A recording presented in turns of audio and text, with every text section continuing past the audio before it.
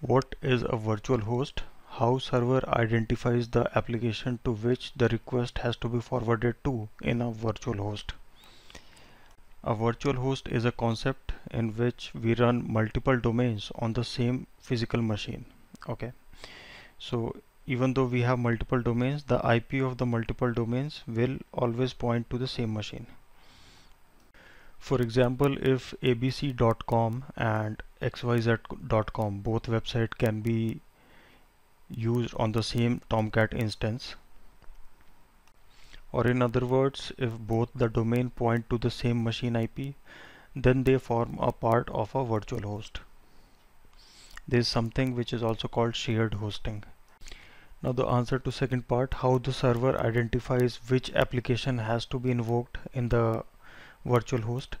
So the answer to this is that the web server identifies to which application it has to be forwarded the request to by analyzing the content of host header from the incoming HTTP packet. So in case the host header contains abc.com then it will go to the deployment directory of abc.com and serve the application page okay and if it is xyz.com then it will go to the deployment directory of xyz.com to fetch the page being requested. Okay? What is a sticky session and what are its advantages or disadvantages? Again this is a very common question being asked from a middle level developer Sticky session is basically used when a server is a part of cluster and it is behind a load balancer. The load balancer here ensures that a particular node will only respond to a particular user. In other words, if a user has got a session opened on server 1, then his further subsequent communication will be forwarded to server 1 only to maintain the session consistency. How would you configure a log file retention policy? The retention of log files can be configured from logging.properties okay and this file resides under conf directory of tomcat so we can open that file and we can define the retention policy by default it is uh, it is keeping log files for 90 days okay and a new file is created every uh, on a different date. So for a particular date a new file is created by default. So this this default approach we can change it from logging.properties file. Then a very important question what are connectors? And or you may get a question what is executor? And what is the difference between a connector and executor?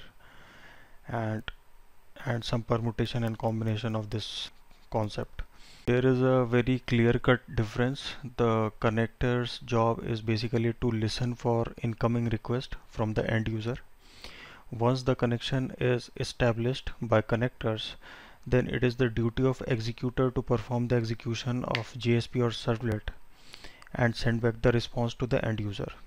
Okay so they have clearly different demarcated task. The connectors only takes the connection. Okay and the executor uh, it, it is the duty of executor to execute that. Executors can be increased or decreased because they are basically the threads okay so once you increase the number of threads uh, you can increase the concurrency of the server itself.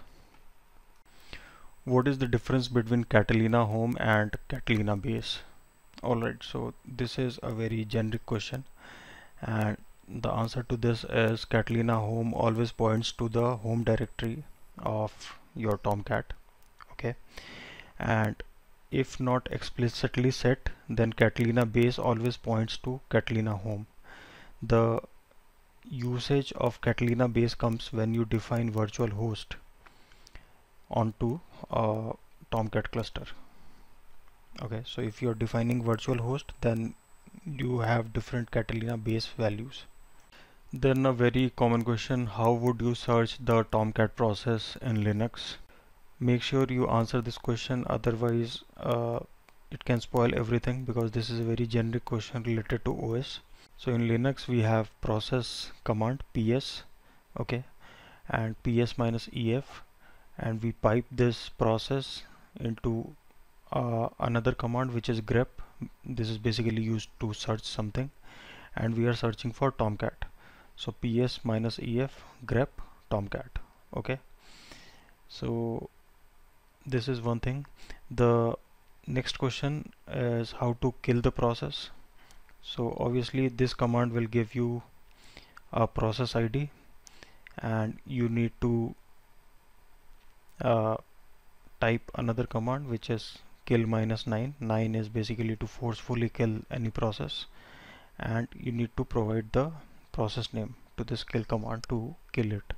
Okay. So this is a very common question which is asked